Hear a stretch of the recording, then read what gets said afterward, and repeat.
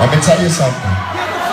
I don't know if you thought I was a buster, but I'm rich, so I can't throw nothing back. But watch this. Goon Squad, come here. Goon Squad. I say every goon that's with me, come in, man.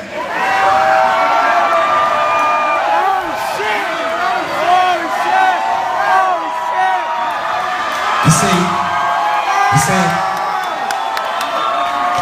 you don't know them, so you can't sue them. Throw that shit back at them. Throw it back at them.